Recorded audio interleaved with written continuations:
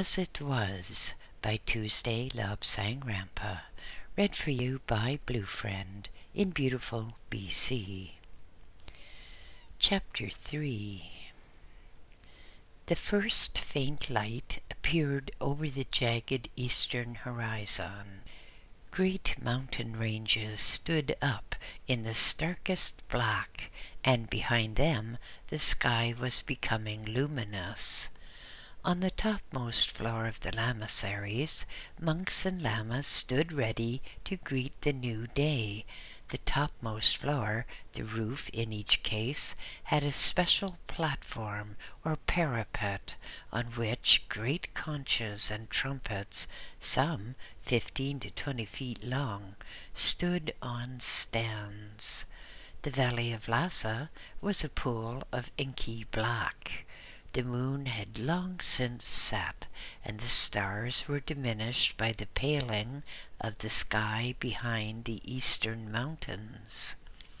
But the valley of Lhasa still slept, still lived in the deepest darkness of night. Not until the sun lifted well above the mountains would the deep lying lamaseries and houses welcome daylight. Here and there dotted randomly throughout the valley, infrequent pinpoints of light appeared as a lama or a cook or a herdsman had to prepare for a very early start to his work. The faint, faint gleams served merely to accentuate the velvet blackness, so black that not even the trunk of trees could be distinguished. The light beyond the eastern mountains increased.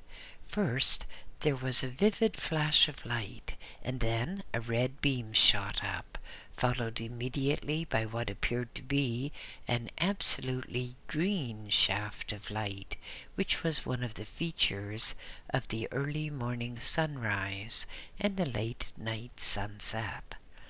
Soon there came broader shafts of light, and within minutes there was a startling golden glow outlining the highest peaks, showing the ever present snow reflecting off high glaciers and projecting down into the valley, the first signs that the day had appeared.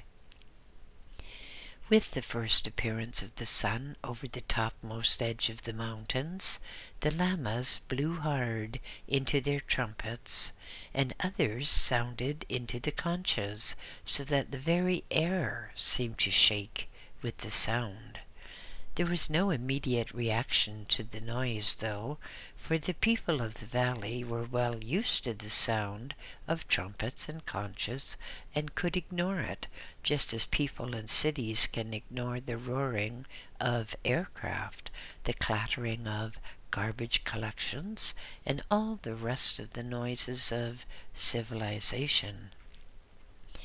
Here and there, though, a sleepy night bird uttered a startled chirp before putting his head beneath his wing again and going off to sleep. Now was the time of the creatures of the day. Gradually the daybirds came awake, cheeping sleepily and flapping their wings to get rid of the stillness here and there a feather drifted down and was blown at the whim of the vagrant breeze. In the waters of the Kyi Chu and at the Snake Temple, fish were stirring lazily from their nighttime drifting near the surface. Fish in Tibet could always rise near the surface because Buddhists do not take life and there were no fishermen in Tibet. The old man twisted at the sound of the bugles and the roaring of the conches, twisted and sleepily sat upright. From his low angle he peered upwards at the sky, and then a sudden thought struck him, and he rose creakily to his feet. His bones were aged, his muscles tired, so he rose with circumspection and made his way to a window and looked out across the now awakening city of Lhasa.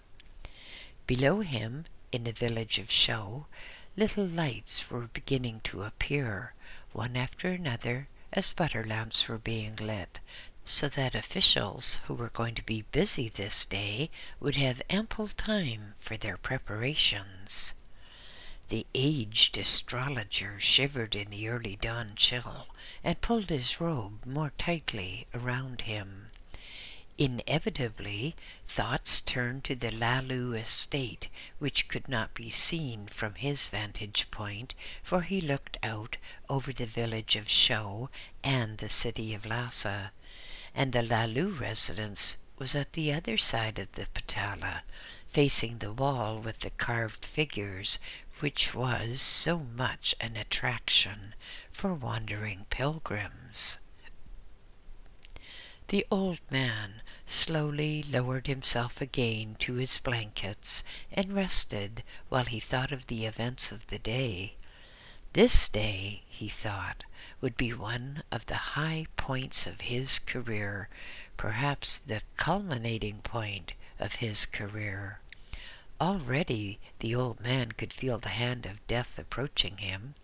He could feel the slowing down of his body processes. He could feel that already his silver cord was thinning. But he was glad that there was yet one more function he could perform and bring credit to the office of Chief Astrologer of Tibet.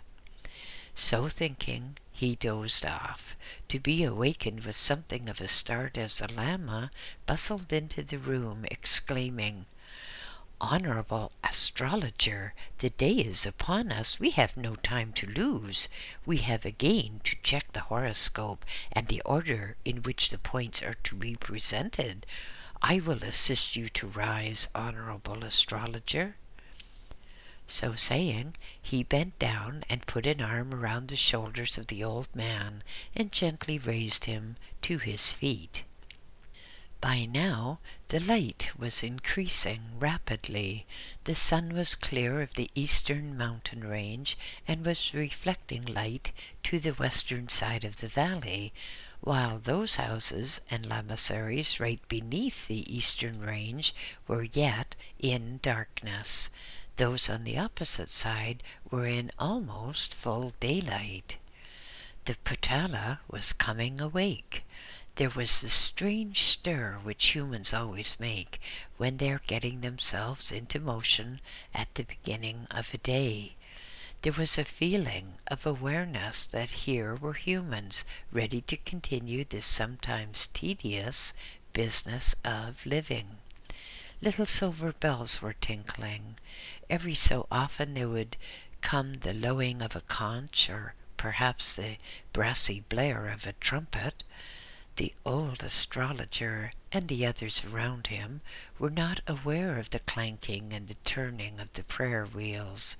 These were so much a part of their everyday existence that they had long since failed to perceive the noise the prayer wheels made just as no longer did they notice the prayer flags which whipped about in the morning breeze on the Potala heights above. Only a cessation of these noises would have been noticed by the startled people. There was the scurry of feet along corridors. There was the moving of heavy doors. From somewhere came the chanting of psalms, religious psalms, psalms again welcoming the new day. But the old astrologer had no time to notice things such as these, for now there was the business of coming to full awareness and to attending to those functions which are so necessary after a night of sleep.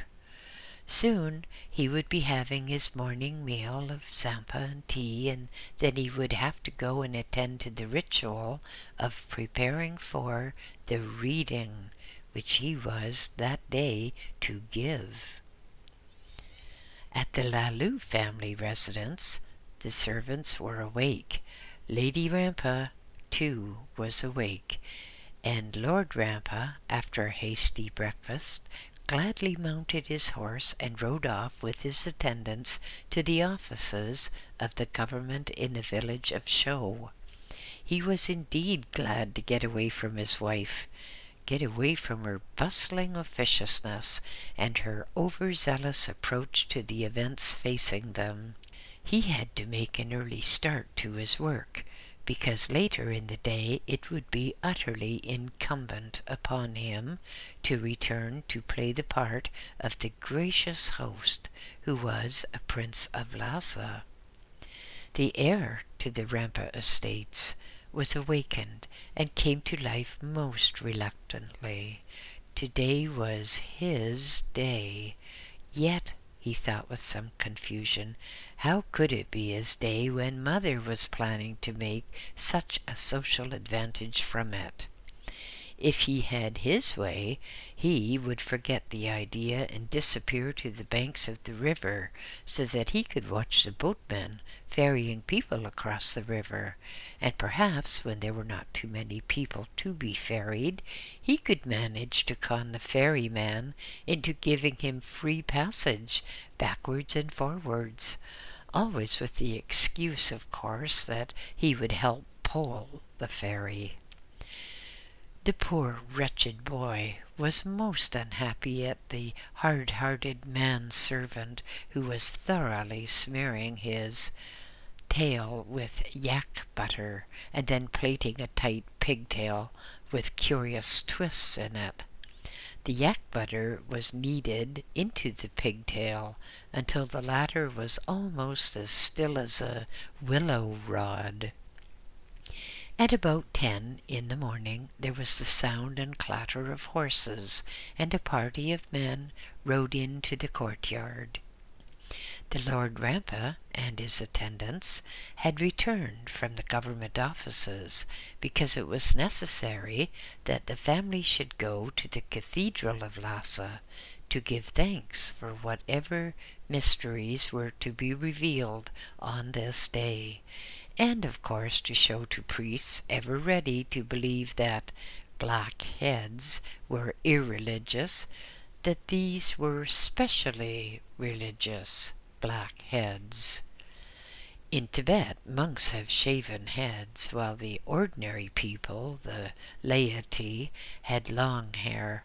Most times it was black hair, and because of that black hair, they were referred to as black heads. People were waiting in the courtyard. Lady Rampa already upon a pony, and her daughter Yasodhara. At the last moment the heir of the family was grabbed and unceremoniously hoisted upon a pony that appeared equally reluctant. The gates were opened again, and the party rode out with the Lord Rampa at the head. For about thirty minutes they rode in strange silence, until at last they came to the small houses and the shops which surrounded the Cathedral of Lhasa, the cathedral which had stood there for so many hundreds of years to afford a place of worship for the pious. The original stone floors were deeply grooved and scored by the footsteps of pilgrims and sightseers. All along the entrance to the cathedral were lines of prayer wheels, big things indeed, and as each person went by, they turned the wheel, as was the custom, so that a most curious tinkling clatter was set up, which had an almost hypnotic effect. The inside of the cathedral was heavy, overpowering in its heaviness, with the scent of incense and the memory of incense which had been burned during the past thirteen or fourteen hundred years. The heavy black beams of the roof seemed to have clouds of incense growing from them, bluish smoke, gray smoke, and occasionally a smoke of a brownish hue. There were various gods and goddesses represented in golden figures, wooden figures, and porcelain figures, and before each were the offerings of pilgrims. Every so often the offerings would be swept behind a metal net to protect them from pilgrims whose piety was overcome by the desire to participate in the wealth of the gods. Heavy candles burned and made flickering shadows throughout the dim building. It was a sobering thought even to a small boy not yet seven years of age to reflect that these candles had been kept alight by pouring on butter throughout thirteen or fourteen hundred years. The poor boy, gazing wide eyed around him, thought, Let's get this day over, and perhaps I shall be able to go to some other country away from all this holiness. Little did he know what was in store for him. A big cat strolled lethargically forward and rubbed against the legs of the heir of the Rampa family. The boy stooped and dropped to his knees to fondle the big cat, who roared with delight. These were the guardian cats of the temple, astute students of human nature, who could tell at a glance those who would be likely to attempt to steal and those who could be trusted. Normally, such cats would never, never approach anyone other than their own particular keeper.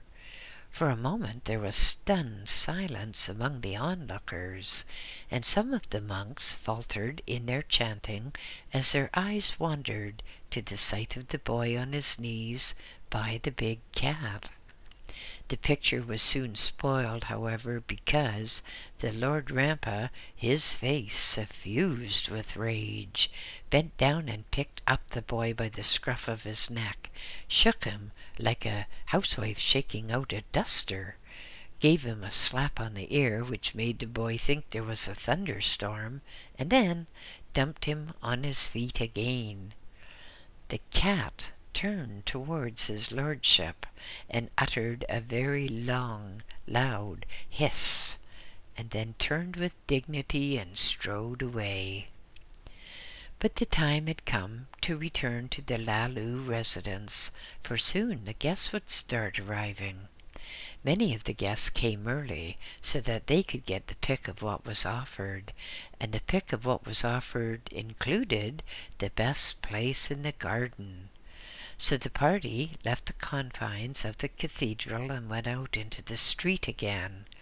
The boy raised his eyes and saw the flags fluttering over the road which led to India, and he thought, Shall I soon be on that road, going to another count? I shall soon know, I suppose, but my goodness, I would like something to eat. The party rode on, retracing their footsteps, and after twenty-five to thirty minutes they were again entering the courtyard of the house, where they were greeted by an anxious steward, who thought that there might have been some delay, and that he would have to explain to irate guests that the host and hostess had been unaccountably delayed at the cathedral. There was time for a hurried meal, and then the heir to the estates rushed to the window at unexpected noises approaching up the road. Monk musicians were arriving. Their musical instruments were clattering as they rode along the road on their ponies. Every so often a monk would give an experimental blow to his trumpet or clarinet to make sure that it was in tune. Now and again a monk would give a hearty bonk to a drum to make sure that the skin was at the correct tautness. Eventually they entered the courtyard and went by the side path into the gardens, carefully depositing their instruments on the ground. The instruments deposited, they reached for the Tibetan beer gladly. The beer was there in some profusion to prepare them, to get them in the right mood to make jovial music instead of somber classical stuff. But there was no time to deal with the musicians. The first of the guests were arriving. They came in a body. It seemed as if all Lhasa was moving on to the Lalu residence. Here came a small army of men on horseback, all heavily armed. It was something like the invading army sent by the British, but this army was armed only because ceremony and protocol demanded it. They rode with men on the outside, and between the lines of men the women rode, where they were adequately protected from any imaginary attack. The armed servitors had their spears and pikes gaily decorated with flags and with pennants. Here and there, as a monk was in the party, prayer flags fluttered from a staff. In the courtyard itself, there were two lines of servants, headed by the steward on one side and the chief household priest on the other. There was much ado with bowing and returning bows and bowing again as the guests were ushered in. Each guest was helped off his horse as if, as the heir to the household thought, they were all a lot of paralyzed dummies.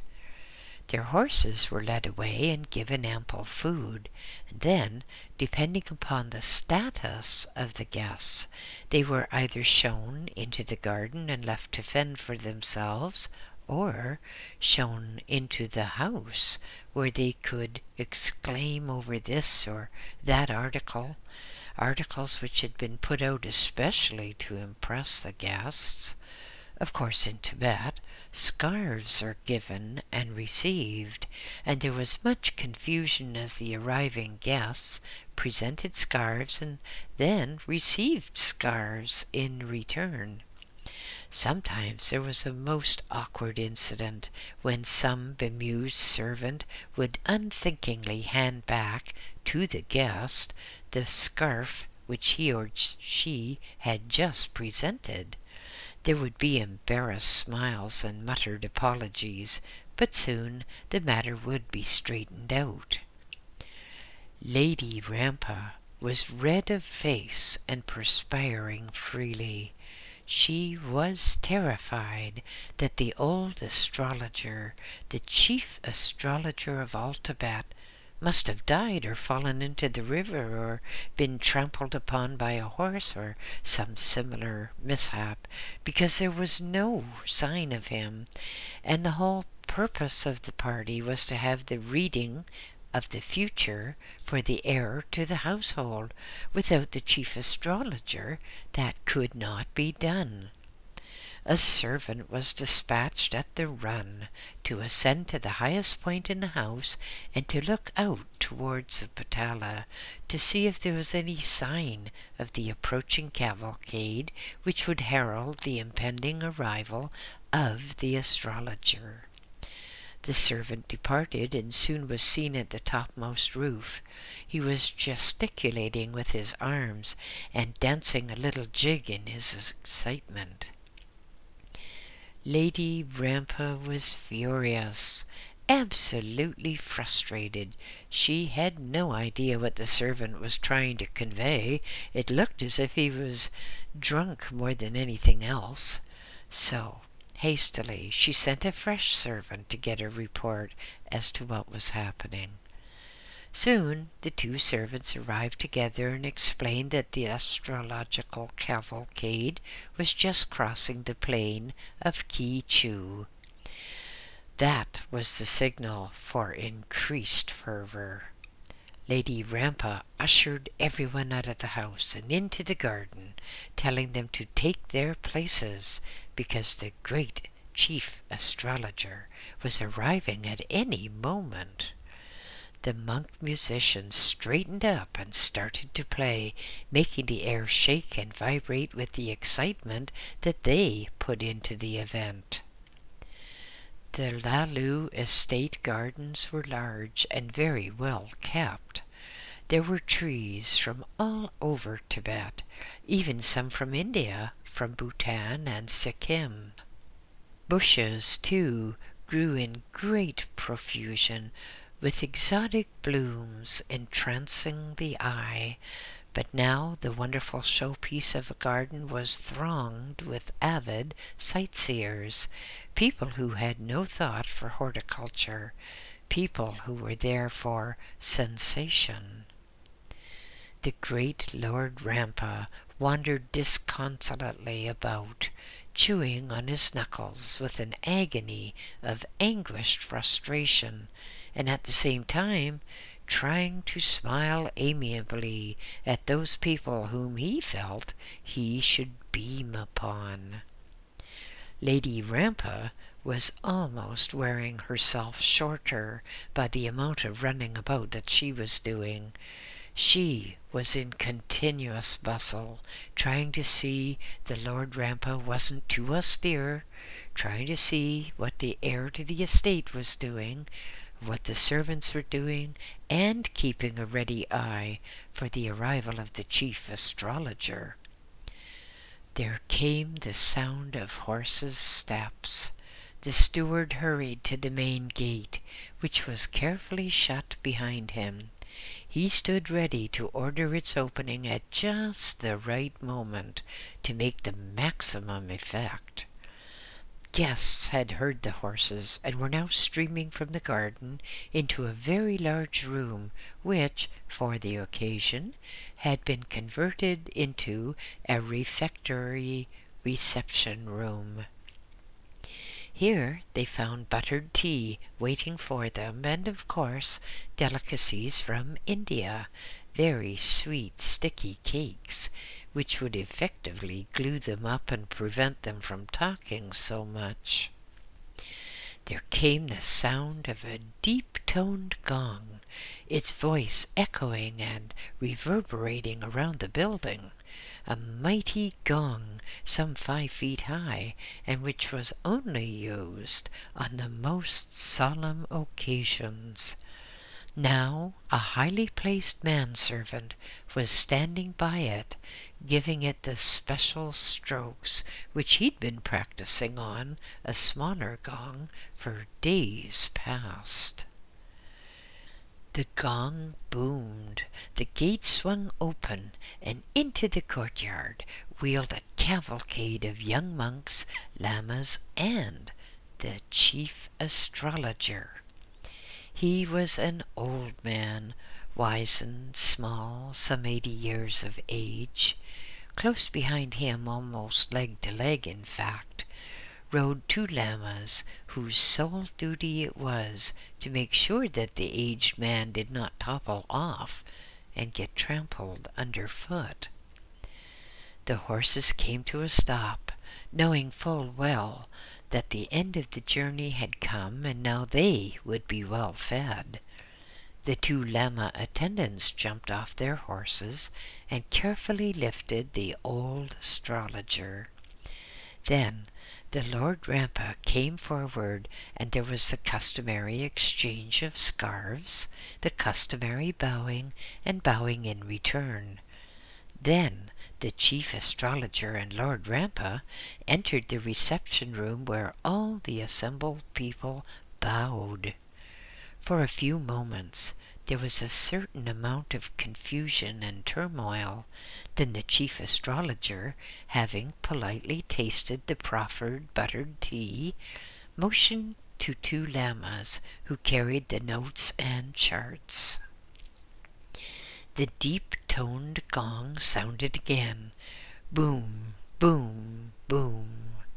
The far end of the reception room was flung open, and the chief astrologer and his two Lama attendants walked forward through the door out into the garden to where a great marquee, specially imported from India, had been erected.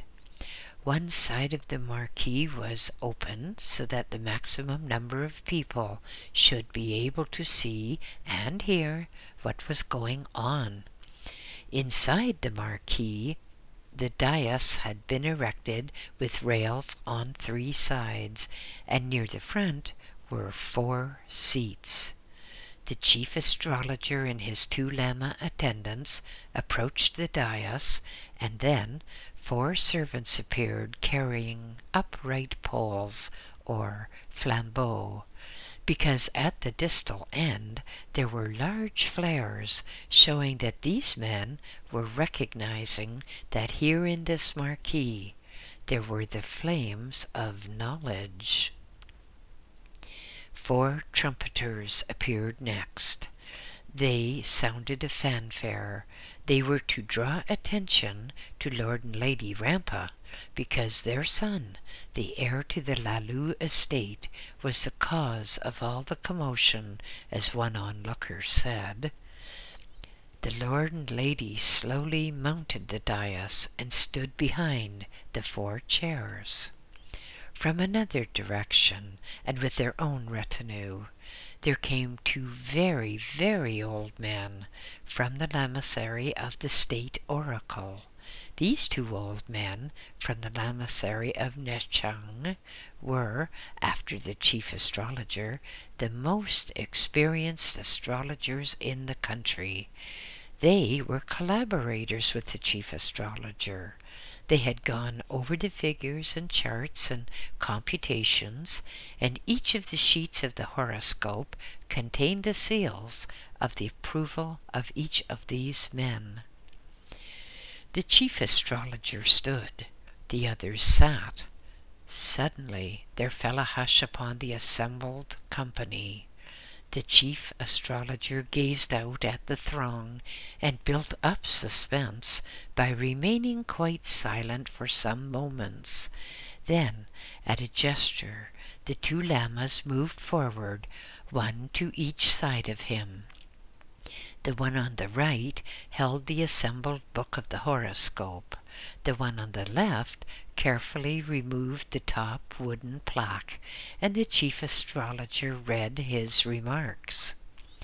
People had to strain because, with age, the astrologer had a thin, high voice, which to those in the background blended with the birds who chirped in the topmost branches. His opening remarks were the ritual remarks on such occasions. Gods, devils, and men all behave in the same way, he said. So the future can be foretold, but the future is not immutable. The future can, within certain limits, be changed Thus it is we can forecast only the probabilities, and having forecast the probabilities, predict the good and the bad, then indeed we must leave the rest to those whose horoscopes we are reading. He stopped and looked about him, and the Lama on the left removed the top sheet, leaving the second one exposed. The astrologer took a deep breath and continued. Here we have the most remarkable horoscope that the three of us have ever computed. He turned and bowed slightly to his two collaborators. Then, clearing his throat, he continued. This is the horoscope of a young boy just six years of age. It is the most difficult horoscope and the hardest life which we have encountered. Lord and Lady Rampa shifted uneasily. Certainly this wasn't turning out as they expected. They weren't at all happy. But with the training of their caste, they maintained an inscrutable expression. Behind them, the cause of all the trouble, the heir to the estate, Lobsang Rampa felt gloomy indeed. All this waste of time. How many people would have been crossing the river? What was the boatman doing? Were the cats all right? He felt he had to stand there like a stuffed dummy while three ancient, almost fossilized men decided what he would have to do with his life. Surely, he thought, he should have some say in what he was going to do. People had been telling him how wonderful it was to be the heir to such an immense estate, saying what a credit he would be to his parents. Well, he thought he wanted to be a ferryman. He wanted to look after cats somewhere. Certainly he didn't want to work. But the astrologer was droning on, and there was a complete silence from the audience. They were indeed enthralled. This boy must go to the medical lamasery at Chakpori.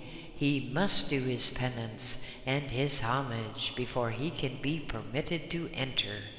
And having entered, he must start as the lowest of the low and work his way up. He must learn all the medical arts of Tibet. He must for a time do that which is almost unmentionable. He must work with the disposers of the dead, that in cutting up the bodies he may understand the structure of the human body. Having done this, he will return to Chakpori and study yet again he will be shown the innermost mysteries of our land, of our belief, and of our science. The old man held out his hand, and an attendant quickly gave him a small silver beaker containing some liquid, which he looked at and then swallowed. The attendant carefully took back the silver beaker and refilled it, ready for the next demand the astrologer went on. Then shall come the time when no longer may he remain in this land of ours. Instead, he must journey to China to study medicine according to the Western style, for there is a Western school of medicine in Chungking. At that school of medicine, he shall take a fresh name for let it not be known that the heir to Lalu shall be dealing with the bodies. Later, he shall learn something which is quite incomprehensible to us at present. It is something which has not yet come about, something which is not yet properly invented. To our experienced brains, it seems that he may do something which entails flying through the air, yet which is not the levitation which some of us can do here in Lhasa. So upon this particular aspect, I must be obscure, because indeed it is most obscure to the three of us. The boy who then will be a young man will have to work this out for himself. He will fly through the air by some means. Our picture shows something like the kites with which we are familiar, but this particular kite is not tethered to the ground by rope. Instead, it appears to be controlled by those who ride on it. There was much muttering and urgent whispering from the congregation. This was wonders piled on wonders. Never before had such things been spoken of.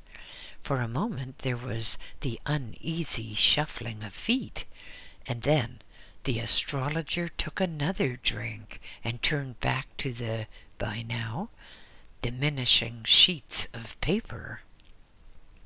He shall have immense suffering, immense hardship he shall enter a war against evil forces. He shall for some years be confined and undergo suffering such as few have undergone, the purpose of which will be to purify and to drive away the dross of any sensuality, and to build the power of the brain to endure. Later, he shall get away from his captors after some immense explosion which throws a whole country or a whole world, maybe, into confusion. he shall travel by means which we cannot identify across a vast continent, and at the end of that travel, he shall again be incarcerated unjustly. Suffering will come upon him there with at least as great measure as it did in the other confinement. At last, by the intervention of unknown people, he shall be released and forced out of that great continent. He shall wander into many countries, meeting many people, seeing many cultures, learning many things. And then at last, he shall go to a country where once again he shall not be welcomed because of his difference. The suffering will have changed him enormously, so that he no longer seems of our own kind, but different. And when humans meet anything which is different, they fear that thing, and that which they fear, they hate and try to destroy. The old man was looking tired. At last, the senior attendant stepped forward, muttered to the astrologer, and then said, we shall have a few minutes' rest while our chief astrologer recuperates for the second half of this reading.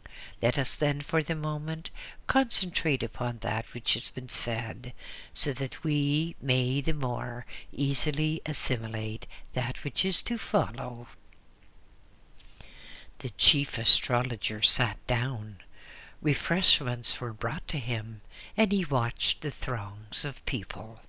And as he sat watching the throngs of people, he thought of his own boyhood. He thought of the times he had climbed the high mountains in the deepest of nights, so he could gaze upon the stars arrayed in the heavens above. He had pondered long upon the significance of those stars. Did they have influence on people? He decided to find out. By various means, and probably because he was fated to do so, he entered the lamasery of the state oracle, and he was found to have quite abnormal ability at astrology, an astrology, of course, which is far superior to that of the Western world, far more complete and far, far more accurate. It includes more variables and could be projected at greater depth. The young man, who was destined to be the chief astrologer of the whole of Tibet, progressed rapidly, studying, studying, studying. He obtained the ancient texts of India, the texts of China, and almost rewrote the science of astrology in Tibet. As his skill rose, his fame increased, so that he was called upon by the heads of all the great houses of Lhasa, and then of other cities of Tibet. Soon he was called upon to do predictions for the government and for the great Thirteenth himself. Always he was strictly honest. If he did not know, he said he did not know. He had predicted the British invasion. He had predicted the departure of the Great Thirteenth to another country and his safe return. And he had made the prediction that there would be no real Dalai Lama after the Thirteenth had gone to the state of transition. There would be another, but he would have been selected as a matter of political expediency in an attempt to assuage the territorial ambitions of the Chinese. He had made the prediction that in 60 years or so there would be the end of Tibet as it was then known. A completely fresh order would come into force, which would cause extreme hardship and suffering, but might, if it were handled correctly, have the effect of sweeping away an outmoded system and bringing, after a hundred years or so, benefits to Tibet. The chief astrologer sipped his buttered tea and looked at the people before him. He watched the way some of the young men looked at the young women, and the way in which the young women glanced back, coyly, invitingly. He thought of his long years as a celibate monk, nearly eighty years, he thought, and he hardly knew in which way a woman differed from a man.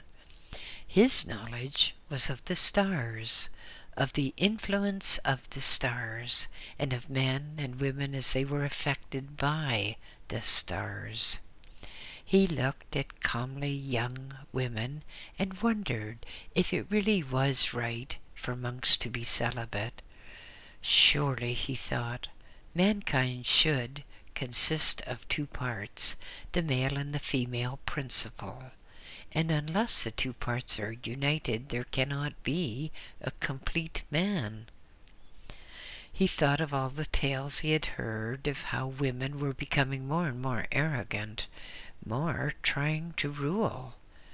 He looked about at some of the older women with their harsh faces, and he noted their domineering attitude. And then he thought, well, perhaps it is that the time is not yet ripe for man and woman to be united to form one whole, to form one complete entity.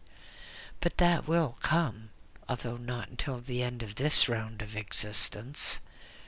So thinking, he gave up his cup to an attendant and signaled that he was ready to continue.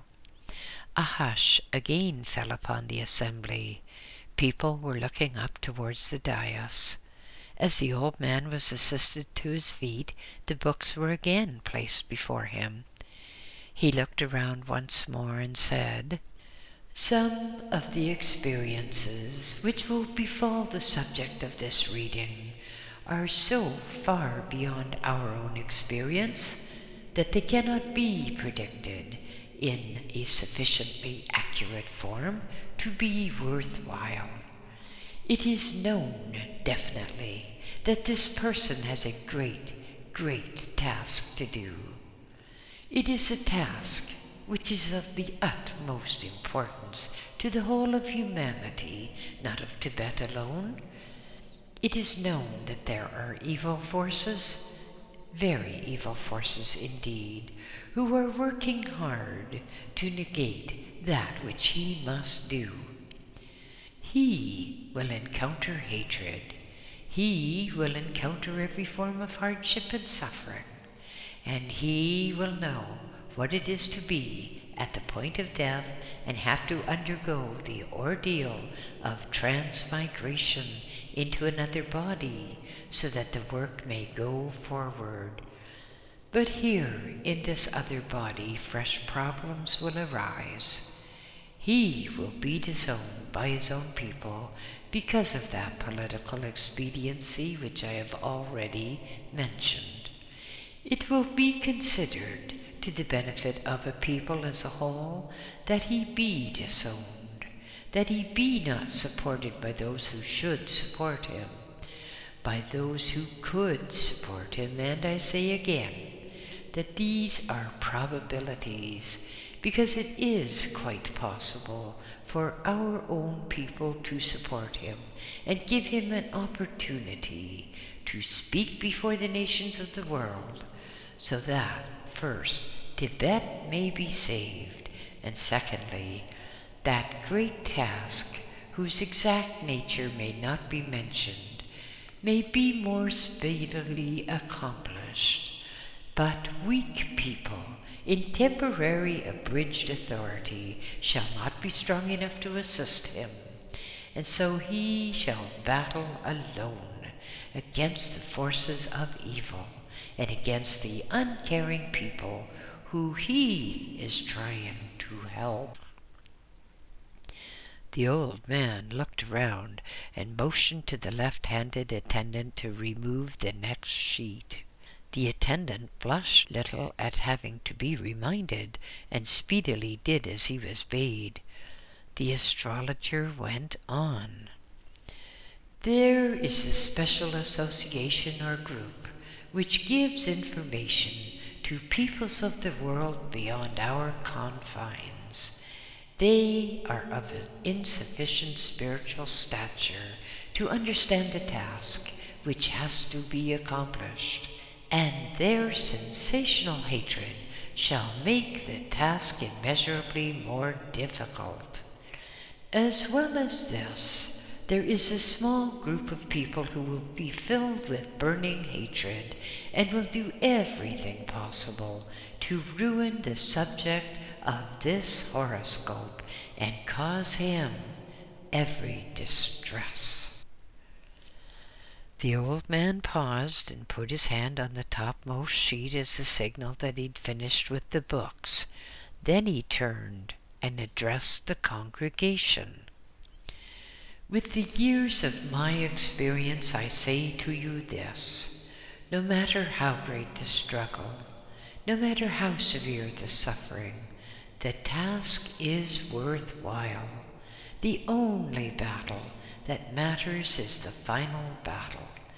It does not matter who wins or who loses, the wars that continue until the final battle, and in the end, the final battle shall be won by the powers of good, and that which has to be done shall be done. He bowed three times to the people, and then turned and bowed three times to the Lord and Lady Rampa, and then he sat down to rest his legs, which were shaking with the weight of the years.